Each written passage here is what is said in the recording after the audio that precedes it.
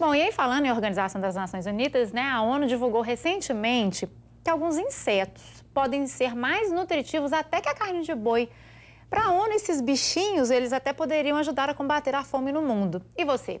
Concordaria em comer grilos, gafanhotos e até larvas? Pois antes de julgar, saiba que também somos conhecidos por comer alguns alimentos nada convencionais. Da mesma forma que o consumo de insetos é comum na Ásia e compõe pratos sofisticados, aqui nós também temos nossas carnes meio esquisitas. Dobradinha, rabo de boi, língua de boi, chouriço, fígado. É, fomos criados assim.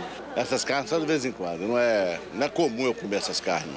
É comum de se vender, vende com bastante quantidade, restaurante também pede com frequência conversou com quase todo mundo aqui, ninguém tá levando. É porque assim, é, a variedade sai muito, mas nem todo mundo gosta. E principalmente em Minas, como essas carnes exóticas são populares.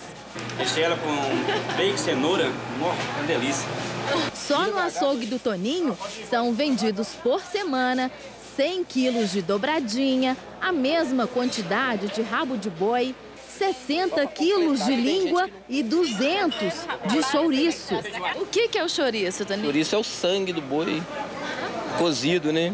De onde veio? Esse vem de Pará de Minas. É tudo uma questão de cultura. É por isso que não come, então? Não, porque eu sou gaúcho e o nosso chouriço não é diferente do daqui, então não, não, me, não me... Está explicado, então a senhora não é mineira? Não.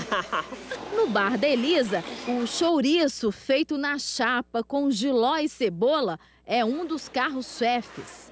Ah, durante a semana deve vender uns, por dia, assim, dia de semana uns 10, final de semana uns 20, 30 por dia. Eu acho forte, mas é gostoso. Com o cheiro da língua recheada, cozida ao vinho feita pelo Ronan, fica impossível não agradar. É um sabor diferente, tem que experimentar para poder sentir. Um sabor exótico. Um sabor exótico. Quando a gente vê aquela língua lá no açougue, ela não é tão bonita não, mas no prato assim, passa batido. No prato, depois que ela cozinha, passa pelo meu preparo, um tempero bacana, ela fica uma delícia. E haja pãozinho.